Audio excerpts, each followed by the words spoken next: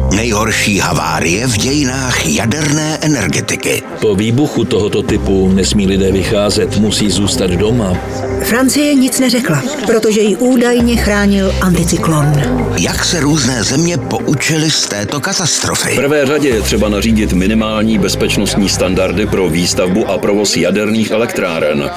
Evropa a Černobyl.